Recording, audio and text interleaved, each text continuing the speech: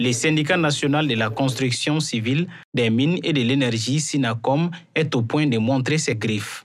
Les syndicalistes regrettent l'attitude du ministère des tutelles qui demeure sur un pied de défiance et de mépris au lieu d'ouvrir un cadre de dialogue pour trouver une solution aux revendications.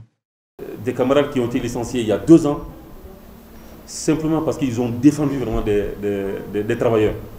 Ils sont partis en grève, c'est pourquoi ils, sont pas, ils ont été licenciés. Simplement pour motif économique.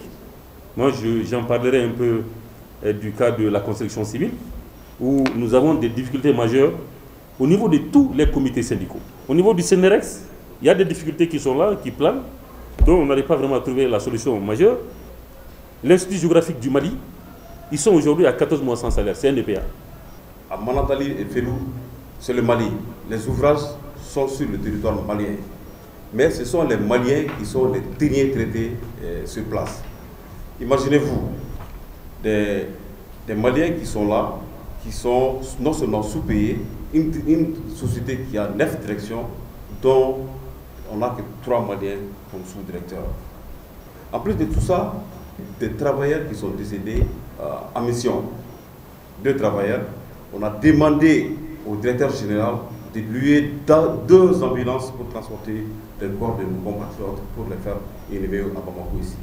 Il a catégoriquement refusé. Transporter deux corps dans une même ambulance, franchement, c'est là où euh, on m'a dit on ne peut pas travailler avec ces messieurs. Aucune section syndicale du SINACOM n'est épargnée. À la SOMAGEP, les travailleurs attendent impatiemment l'application du protocole d'accord qui octroie 34,5% au secteur privé. Si le gouvernement ne réagit pas, les syndicats se verraient dans l'obligation de déposer un préavis de grève malgré lui. Si jamais nous ne sommes pas écoutés, pas seulement être écoutés, et que les solutions soient trouvées à nos problèmes. Nous allons brandir notre dernière arme qui sera la grève générale. Vous savez, le comme on vient de vous éliminer. C'est constitué de les mines, de la Somagep, qui est haut, de l'hydraulique, qui concerne euh, nos barrages de, de construction civile, et de l'énergie du Mali.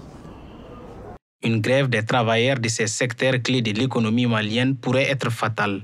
À en croire les syndicalistes, le SINACOM est la seule formation de l'UNTM qui n'a pas déposé un préavis de grève depuis 2010. Au gouvernement de prendre ses responsabilités.